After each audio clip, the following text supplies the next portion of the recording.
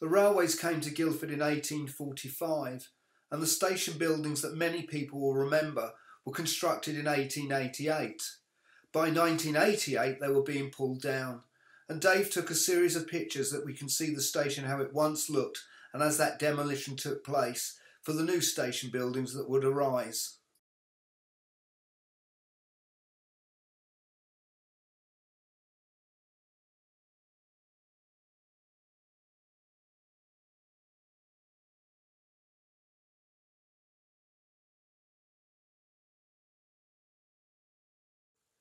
Guildford Station's Down goods yard was situated adjacent to Walnut Tree Close, and by the late 1960s, goods traffic was decreasing rapidly on Britain's railways. Parts of the goods yard here were turned into a car park, but some of the goods sheds did exist, and Dave photographed these as they were being demolished in 1988.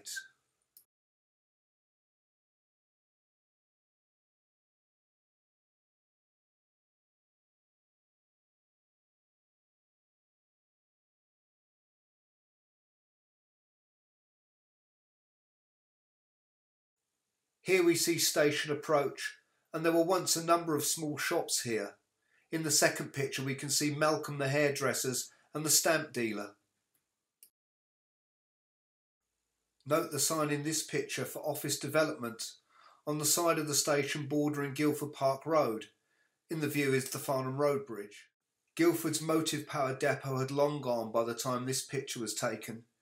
It shows the site then being used as a surface car park before the Farnham Road multi-storey car park was built on the site. Taken from the Farnham Road Bridge, we now see the new station buildings and also other development taking place. And then two pictures taken from Yorkies Bridge off Walnut Tree Close, firstly looking down towards the station and then looking north.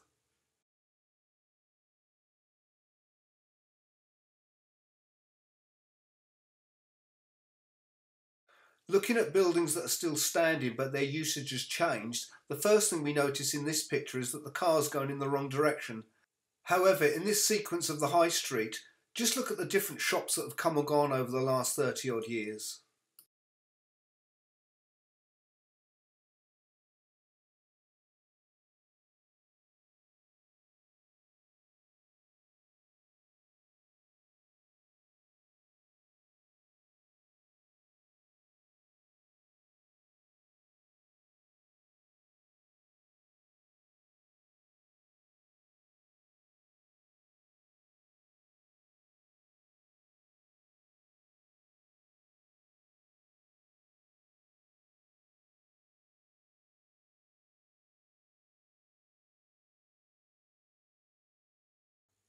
Into Chapel Street and a sign for a butcher's. That would have been Reed and Company that was there for many years. And then in the High Street and Jeffrey's Sports Shop, a well-known family firm. The shop closed on August the 31st, 2001 after trading in the town for 150 years. The facade of the Three Pigeons pub may look quite old, but in fact it's a replacement following a fire there in 1916. In the upper High Street, and you may just see the silhouette of a woman and the letters MJ. This was Marion Jacks, a ladies' undergarment specialist. Since becoming a shopping precinct in the late 1960s, Friary Street has seen an awful lot of changes over the years. The last few pictures show it when Woolworths was just about to disappear, and then a view looking across towards the Friary Centre.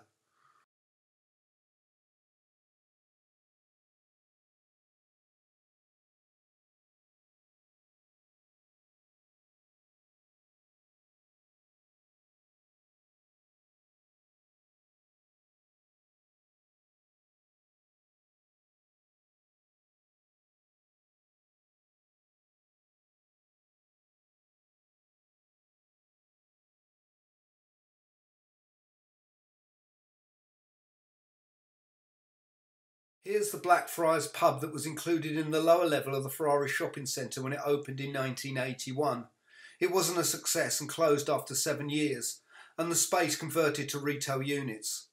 And also here's some pictures that Dave took in July 1980 as the Friary Centre was being built.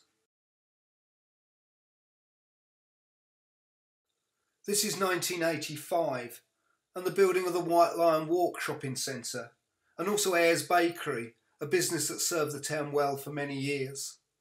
Next, we see some construction close by, on the part of North Street that borders Phoenix Court.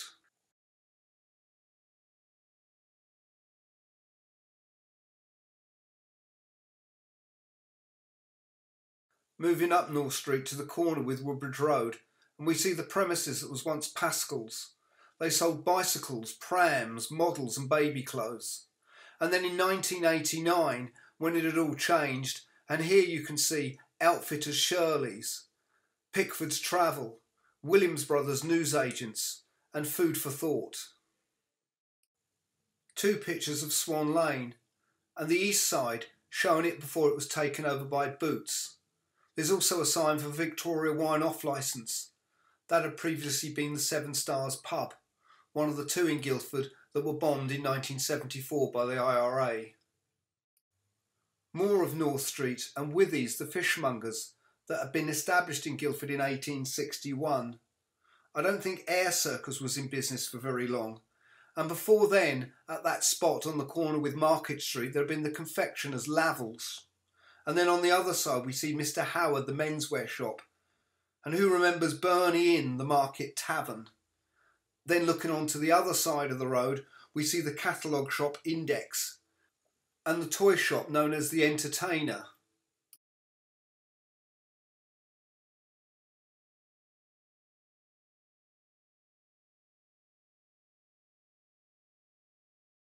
Another quick detour, this time down Leapale Road, and the pub called the Mary Rose. It had previously been known as the Carpenter's Arms, and it is now a bar called Five and Lime. And the telephone exchange on the corner with Leapale Lane. Note the covered walkway to the buildings opposite.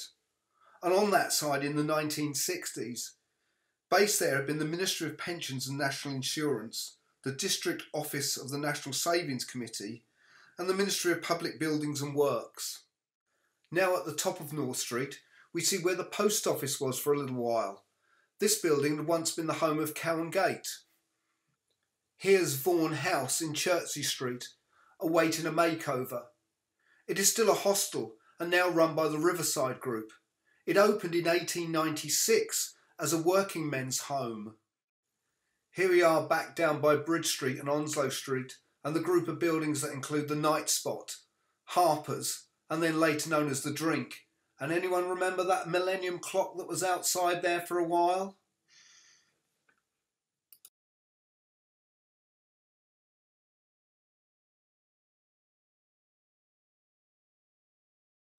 The supermarket chain Iceland had a store on Onslow Street on the corner with Bedford Road for a number of years. It's gone now, and these buildings have actually been remodelled somewhat it's now called Tempest Court. The Rodboro Buildings takes its name from the Rodboro Boot and Shoe Company, who occupied the building from 1919 to 1928, taking over from motor vehicle manufacturers Dennis Brothers. In later times, it became rather forlorn. There were a number of businesses that operated from there, and by the 1980s, it was even faced with demolition. But it was saved, and today the building is occupied by a Wetherspoons pub and the Academy of Contemporary Music. There are some typical vehicles that could be seen on the roads in the 1980s in these views. Also, Roman's Volvo garage that was in Woodbridge Road, and then looking further down towards the Friary Centre.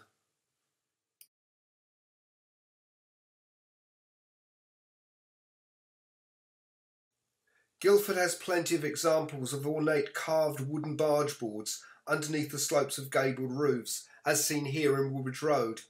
It was once the home of Selden's, a refrigeration and air conditioning firm, and is now occupied by Anderton's music store. More wooden barge boards, this time on the Prince Albert pub in Stoke Road, and next to it the fish and chip shop that was run by Roy Stevens and his wife. It's still a chippy today, but part of the frontage that can be seen in this view went years ago. In Chertsey Street, the building that was originally the R. White's mineral water factory from 1899 to 1920, it was later used as a dairy and is now offices. And to finish this section, boarded up houses in Martyr Road that have now been renovated.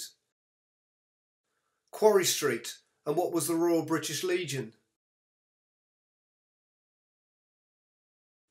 And then the footbridge that links Bedford Road and Walnut Tree Close, it looks like it was quite new then, and that's going to be replaced soon as well.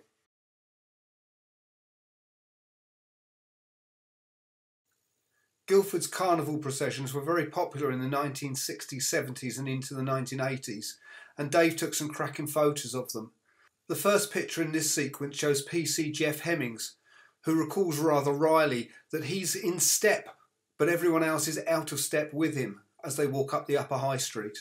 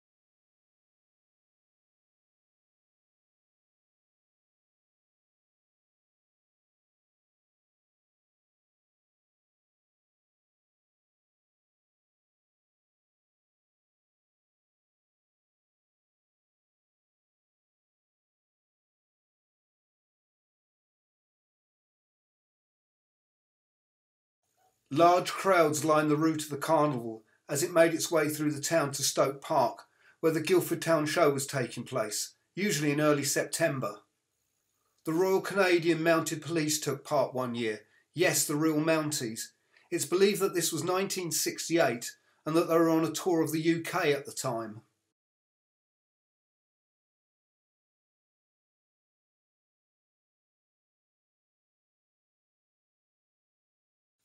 It would appear that Dave loved taking pictures of these carnivals and would often stand in Woodbridge Road. Local organisations, groups and charities and businesses all took part, including Sea Cadets and Scouts.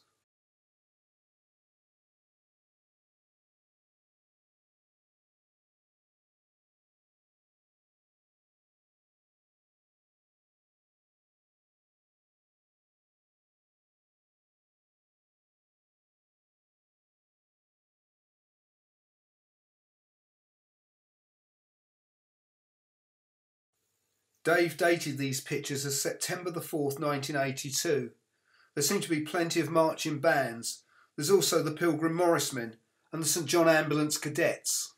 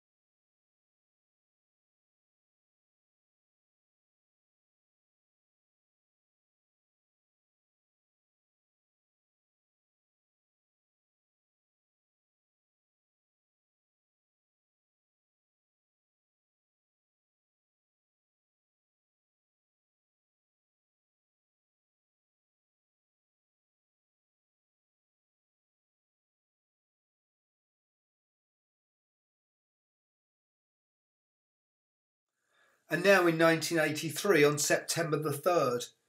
In this sequence, you can see a steamroller and an English Civil War reenactment group.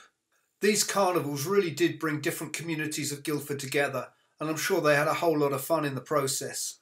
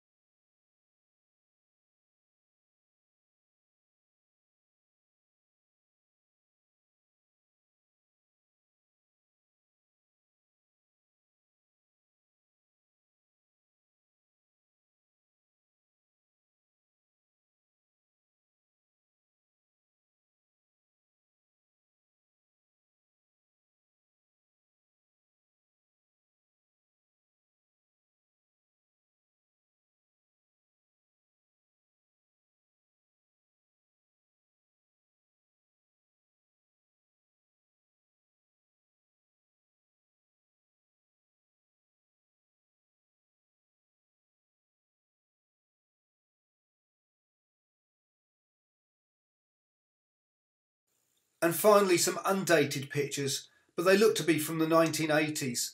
So many local faces in these. Can anyone recognise themselves? There have been calls to reinstate the carnival, but it's just such a big thing to organise these days, and nobody yet has come forward to try and do so.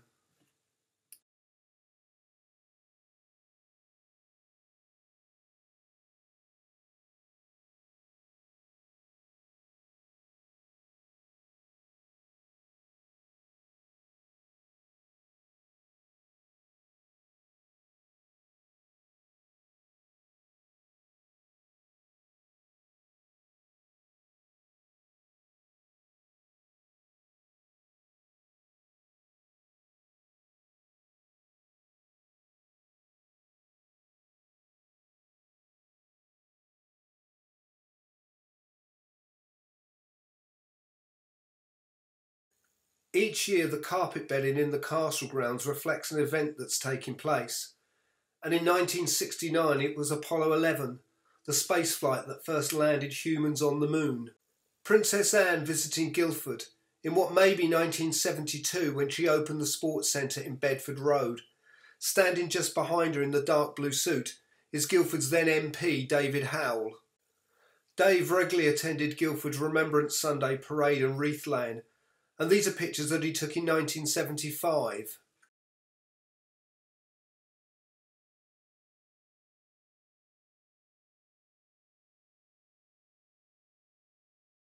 On the original slide of this picture, Dave noted that he took it in June 1976 at Millmead, and it was a beating retreat event. Close inspection of the image reveals that these men were from the Queen's Regiment. The summer of 1977 saw the celebrations for the Queen's Silver Jubilee, and in Guildford the High Street was bedecked with shining flowers and tableaus. Shops decorated their windows to mark the event, and on July the 6th Princess Anne visited Guildford. A pageant took place in Shalford Park, and on July the 7th a beacon was lit on the mount.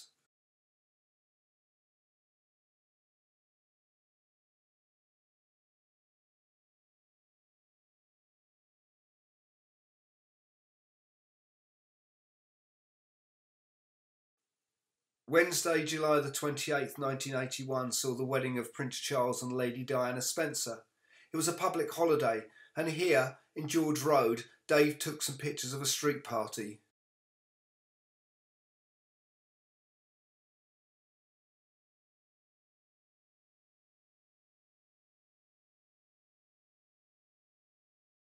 Standing to attention and saluting outside the Shaftesbury Hall in Artillery Terrace Maureen Lehman and Shirley West. It was the 50th anniversary of VE Day and celebrations were taking place across Guildford. And here we see some celebrations in Haydon Place outside the Live and Let Live pub.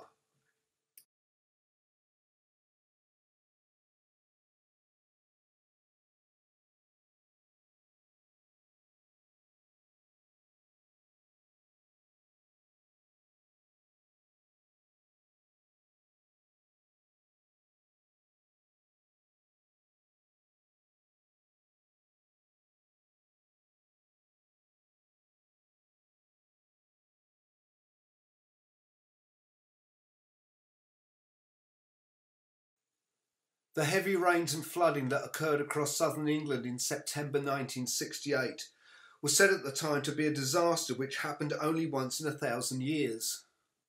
On Saturday night, September the 14th, it began raining. There was a torrential downpour throughout Sunday, and by Monday the River Wey burst its banks, and the bottom of the High Street was under six feet of water. Dave, of course, took some iconic pictures.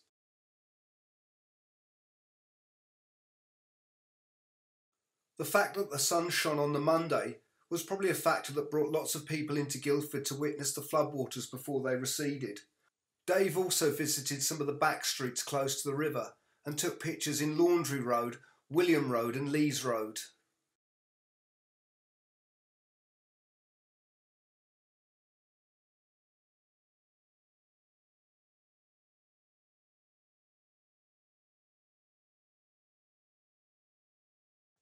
Downstream, the floodwaters of the River Wey covered the bypass at Ladymead.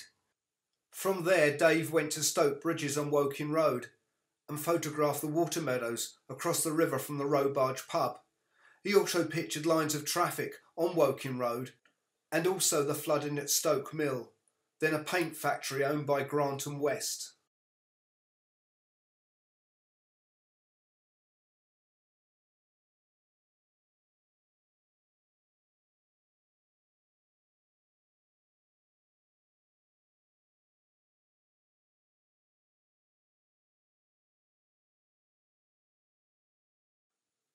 There has, of course, been flooding in Guildford since 1968, but nowhere near as severe.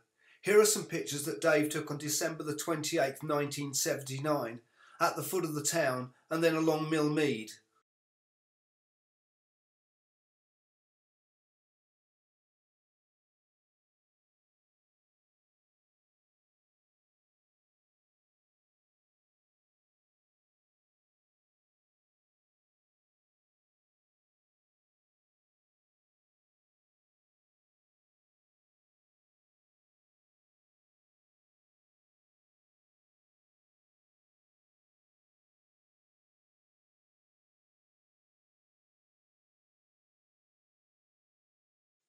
And now some pictures that are undated, but they could be from the late 1970s or early 80s.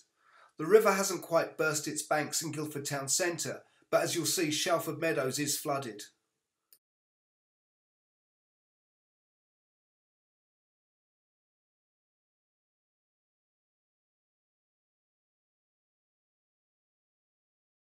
Guildford was again flooded in November 2000, and it's believed these pictures date from then. It was the highest the floodwaters had been since 1968.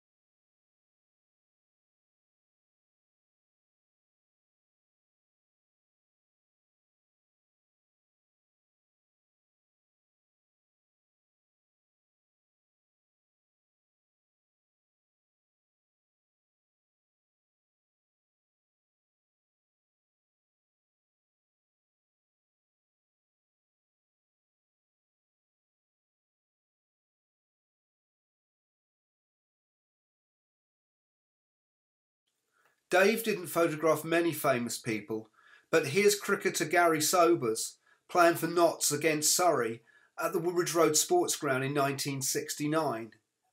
It was, of course, the year before that Sobers scored his famous six sixes in one over in a match against Glamorgan. Also in 1969, on June the 14th, he photographed Worplesdon and Godalming cricket clubs, and some of the action as well. The match was being played at Holloway Hill in Godalming.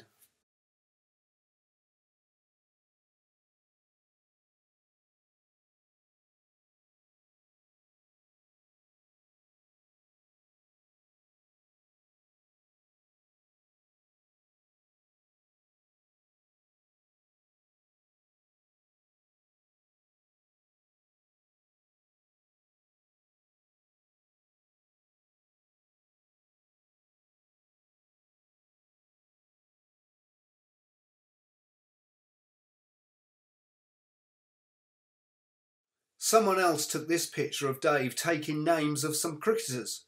We don't know the location or who they are, but it suggests he was also supplying photographs to the Surrey Advertiser for publication. For many years, Dave was the official photographer for the Castle Green Bowling Club, who play in the delightful surroundings of the castle grounds in the centre of Guildford. The second picture dates to about 1998 and shows the then Mayor of Guildford, Keith Childs, preparing to bowl. Although Dave followed Guildford City Football Club, his real passion was for West Ham United.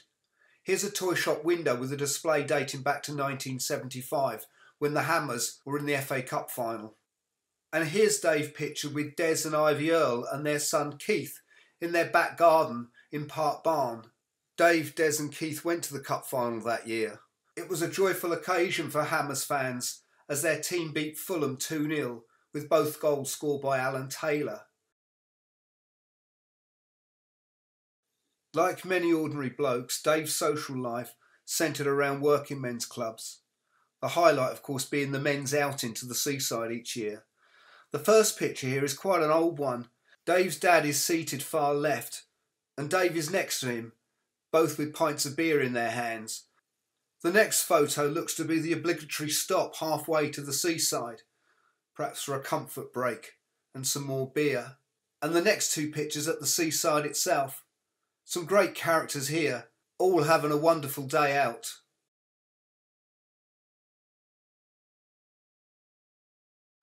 I wonder if this minibus ever took people on an outing to the seaside. Evidently, it still exists. It was once owned by Blue Saloon Coaches and is pictured outside its premises in Stoke Road.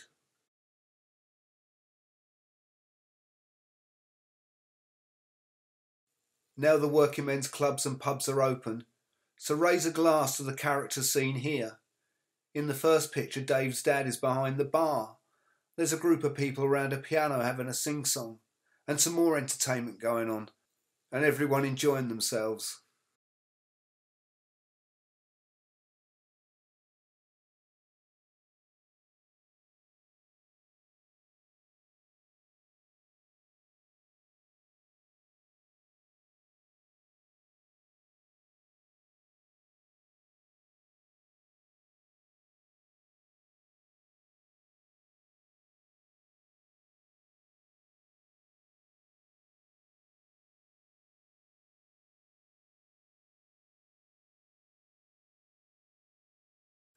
It's time for another drink, so it's up to the bar we go. And in the colour picture, it looks like it's Christmas time by the decorations on the wall. And also at the back on the right, you can see a seven pint Friary Meux Pipkin Ale can. Does anyone remember those?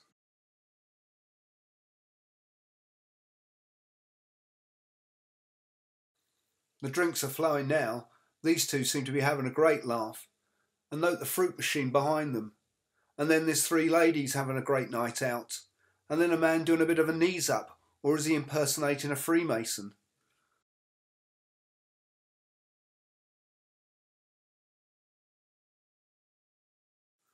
They're still serving, so there's time for another drink.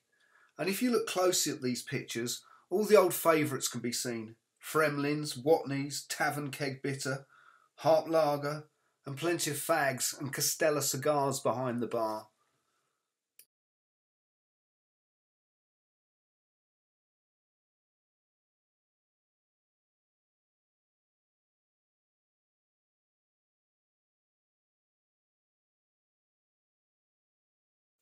We're now in the Elm Tree pub in Stoke Fields, when publicans Chas and Silver celebrated 21 years of being there. Dave actually didn't tell us the date, but nevertheless, we do know that in the next picture, photographed are Albert and Spike, also at the Elm Tree pub, on the 29th of December 1979. Unfortunately, we have no idea who these two gents are and what the beverages are they're serving, but they certainly look well pleased with them. Three more pictures of which the event or meeting and the location is unknown. It's interesting that those who appear to be on the committee are all men, and in the audience, it's the men who are sitting at the front with some women behind. Working men's clubs and social clubs just wouldn't operate without members of their committees doing all the paperwork behind the scenes. And this guy here we think is actually involved with organising either a snooker tournament or a league match. There are plenty of cups and trophies being presented here at what we believe is a snooker tournament award ceremony. Dave wasn't shy when it came to getting in amongst the action, but here he didn't ask any of them to face his camera.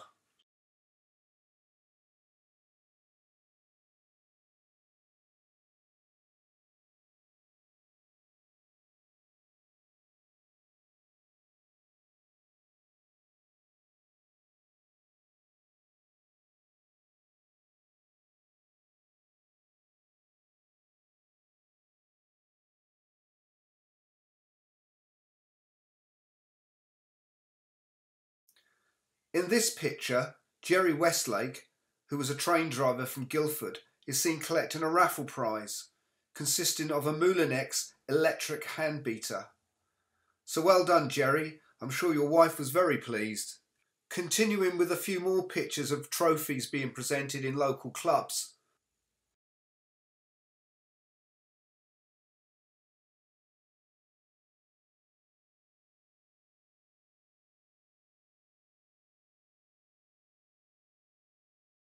However, this last picture was taken outside. It may have been something to do with cricket or bowls, but it looks like it was taken right next to a field. 1970s fashions in all their glory here. Note the man in the white suit with those flared trousers. The band looks to be a decent size, and with the clock at half past twelve, it would suggest there was a late night extension at this club, but we don't know where it was. Looking like the same night as the previous picture, the band have gone off for a break, and this guy's playing a banjo ukulele. And now everyone's up on the dance floor, and this man's instantly recognisable as Bill Bellerby, former Guildford Borough Councillor, Surrey County Councillor, twice Mayor of Guildford, and with his wife Doreen they were honoured with the freedom of the Borough of Guildford.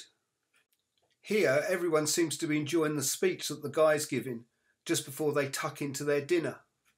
Note the candles to the left and on the far right what appears to be a rather large punch bowl. And what must be the same occasion in the next two pictures. In the third, the arch windows give the location away as the Wooden Bridge pub at the foot of Woodbridge Hill. But the identity of the ladies in these two pictures, unfortunately, we do not know.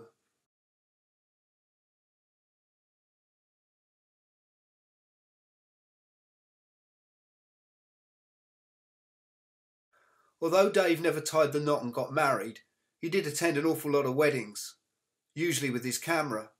The first picture we see here is the wedding car, suitably decorated before the bride and groom go off on their honeymoon. It's pictured in Woodbridge Road, outside the Drummond Arms. But we do wonder whether the reception had taken place in the Corporation Club that was just a little way up Drummond Road on the left. And then brides and grooms and their family and friends at other weddings and also at wedding receptions. There are a number of pictures here that Dave took at the same wedding reception. Once again, we don't know the location, but some posters on the walls reveal that it may have been a scout hut.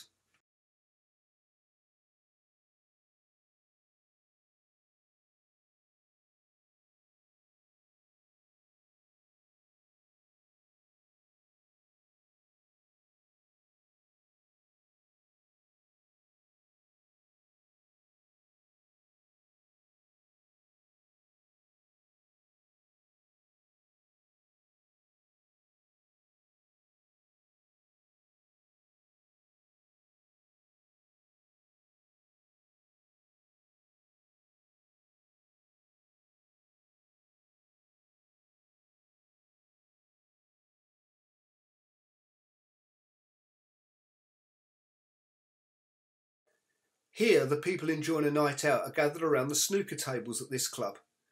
You can see one of the snooker table's lampshades in the top left of the first picture, with the table below covered with a cloth. They don't want any drinks spilt on them, not to mention fag ash. The nosh on the other tables, at which the people are sitting, includes soft rolls, sausage rolls, and vol Some of the men are drinking bottled beer from half pint glasses, and the women could gin and orange be their tipple? Ah, it's Christmas time again. And who's the young woman with this baby? And then the grandad, also holding the child. On the 26th of March 2002, Dave and I were invited to our good friend Charlie Hampshire's retirement party, which was held jointly with another Rowley colleague at the Railway Club, Woking. Both Dave and I took a number of photographs of the event.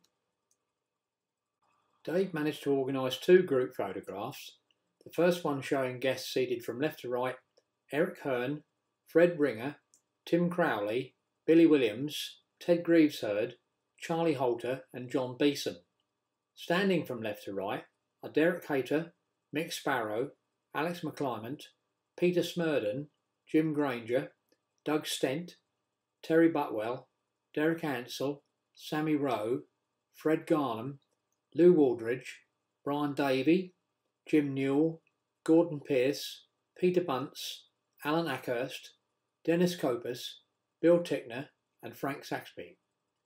The second group photo shows sitting from left to right Anne Hampshire, Mick Lewington, Charlie Hampshire, Ray Cox, Mac McCabe, George Mickey, George Lynham, Dave Newbury, Lou Waldridge, and Karen Thake. Standing from left to right are Bob Hind, Mick Hill, Bernie Nibbs, Peter Johns, Alan Bristow, Dave Champion, Bob Hunt, Andy Hawkins, Nigel Lunn, Steve West, Andy Bagent, Chris Berriman, Dougie Dunstall, Paul Ringer, Dave Hewson, Mark Embry, Ian Verinder, Nick Waite, Barry Foster, Paul Summerfield, John Harrison, Dave Morgan, Nigel Elliott, and Dick Bullen. On the 21st of September 2004, Dave and I were also invited to our good friend Alex McClymont's retirement party. This was also held at the Woking Railway Club, where we again took a number of photographs.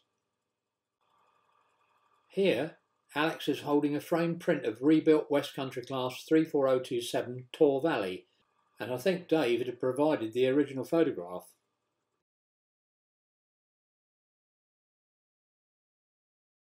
There were quite a number of guests that evening, and in this photo, entitled Guildford Steam Men, Dave's got in on the act. And sitting in the front row from left to right are Alex McClymont, Fred Garnham, Alan Ackhurst, Derek Gain, Alan Hughes, and John Berriman. Standing from left to right are George Mickey, Dave Newbury, Dave Salmon, Alan Johns, Malcolm Phillips, Dave Hewson, Brian Ainsley, Mick Foster, Jeff Ball, Lenny Boxall, Bernie Nibbs, Ray Bartlett, Pat Kinsella, Terry Aylesbury, Brian Sessions, Terry Butwell, Frank Saxby, Bill Tickner, Lou Waldridge, and Jeff Sumner. In the next photo that Dave took, a number of younger drivers joined the group, and seated from left to right are Dave Jackson, Dave Newbury, George Mickey, Pat Kinsella, Terry Aylesbury, and Bill Tickner. Standing from left to right are Fred Garnham, Alex McClymont, Mick Lockyer, John Berriman, Ray Bartlett, Jim Lester, Ron Baird, Chris Berriman, Alan Ackhurst, Barry Foster, Dave Hewson, Mark Taylor, Frank Saxby, Bill Flayhive, Terry Butwell, Ian Verinder, Alan Johns, Sue Kitchen, Bernie Nibbs, Lenny Boxall, Alan Hughes, Steve West, Lou Waldridge, Colin Watkins, Alan Nichols, and Derek Gain.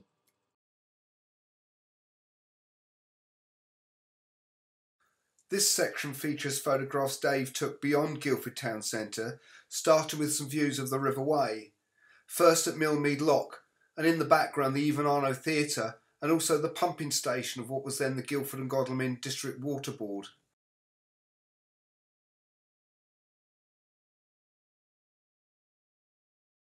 We see the Jolly Farmer pub and Leroy's boathouse, some wintry scenes from January 1967, and boats of the Guildford Sea Cadets moored in front of their premises with the Seven Arch Railway Bridge behind.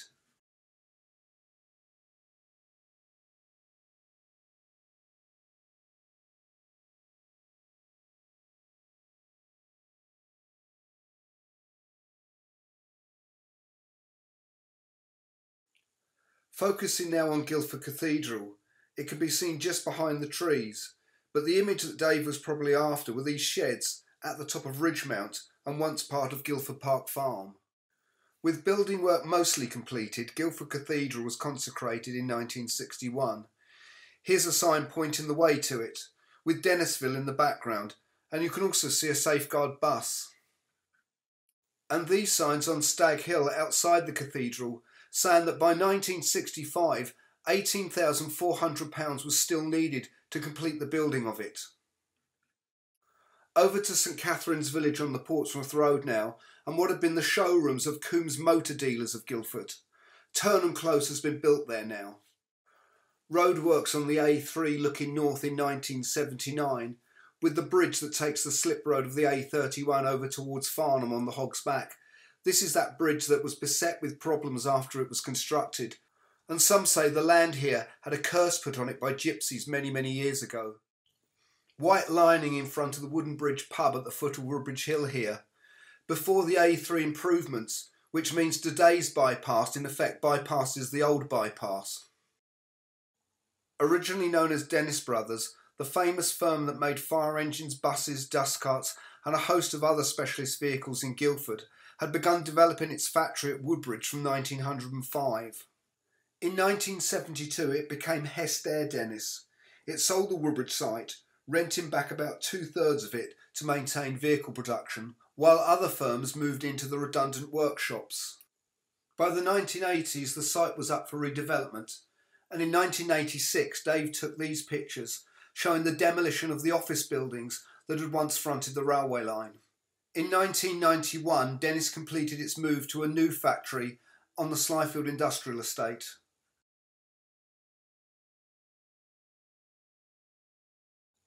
Here are two pictures of the old Co-op dairy that was at the Woodbridge Hill end of Woodbridge Road. It opened in the 1930s and it bottled milk for the Guildford, Woking and Aldershot cooperative societies. These buildings were demolished in the early 1990s. And finally in this section, office buildings in Cross Lanes off London Road being demolished in 1988. They had once been the offices of Cow and Gate's Home Counties Dairies. While the last picture Dave noted as being West House that was burnt out at Merrow in March 1985.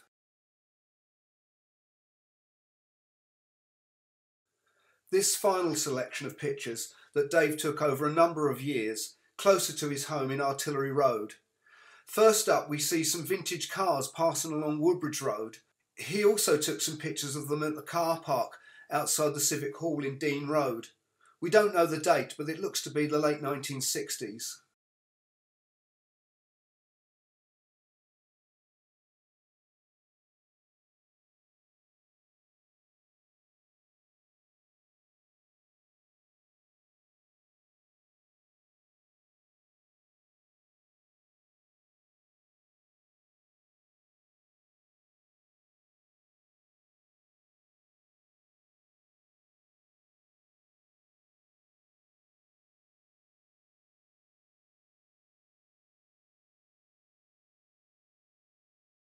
He took this picture of Artillery Road in 1986 using a 300mm lens, and it really does capture beautifully the late Victorian architecture found in this part of Guildford. And why not take some pictures of your road when it's being resurfaced? These are dated 15th of August 1980, and in the final picture Dave noted the man there was known as Digger.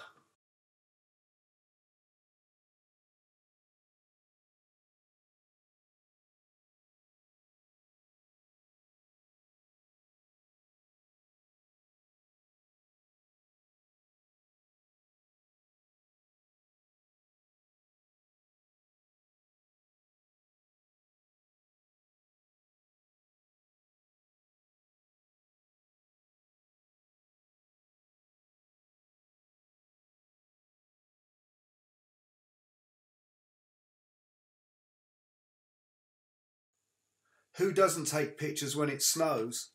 And Dave photographed Artillery Road on January the 13th, 1985. And then again on February the 5th, 1986, the second picture being taken in his back garden. Two businesses that were once in Church Road, pictured in October 1987. Mrs. Risbridge's milliner's shop and Geoffrey Stevens' horologist. These are now residential properties.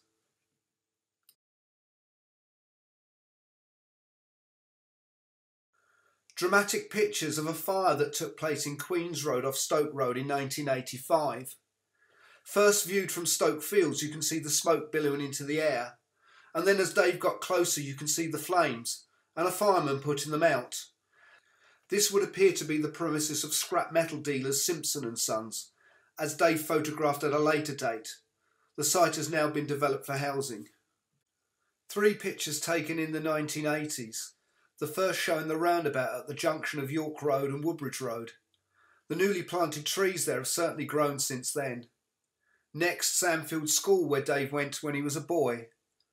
And thirdly, St Saviour's Church in Woodbridge Road, a building he knew so well.